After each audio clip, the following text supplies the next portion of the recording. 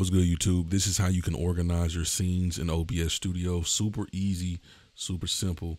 All you got to do so you don't have to be looking around confused trying to find your different scenes is make a new scene and then put some type of symbol. I normally use the equal, name it whatever you want, maybe cam, and then put some more equal signs on it.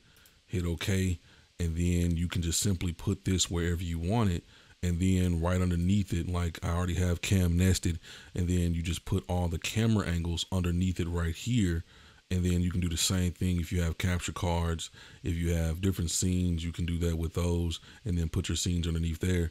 This is real nice because all you got to do is scroll through when it's smaller like this find one of the little headers that you made. This is a wonderful and simple way to get all your stuff organized so you can find it get it situated get it clicked selected whatever the case may be so you can get done what you got to get done.